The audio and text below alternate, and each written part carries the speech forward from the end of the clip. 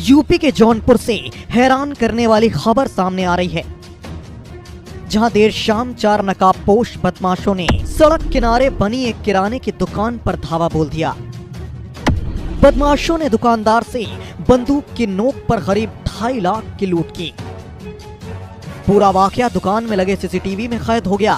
वहीं मामले की जानकारी मिलने पर पुलिस मौका वारदात पर पहुँची और मामले की छानबीन में जुट गई। वारदात जौनपुर के सराय ख्वाजा थाना इलाके की है, जहाँ बीते दिन दो बाइक पर चार नकाबपोश बदमाश आए और देखते ही देखते दुकान पर हमला बोल दिया। इतना ही नहीं, बदमाशों ने दुकान में खड़े ग्राहक को भी अपना निशाना बनाया और उसके सोने की चैन लूट कर फरार हो गए। बता दे, बीते कई दिनों से यूपी में चोरी के कई ऐसे मामले सामने आ रहे हैं। इन सभी मामलों को देखकर ऐसा लग रहा है, मानो बदमाशों में यूपी पुलिस का खौफ अब बिल्कुल खत्म हो गया हो।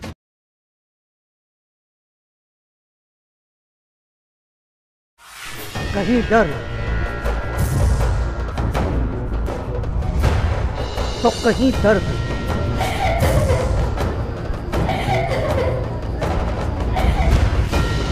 कहीं आत्महत्या। तो कहीं हत्या। कहीं साजिश।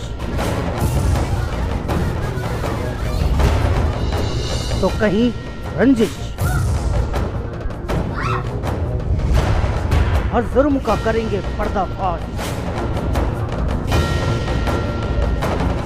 देखें, हर रोज रात साढ़े दस बजे।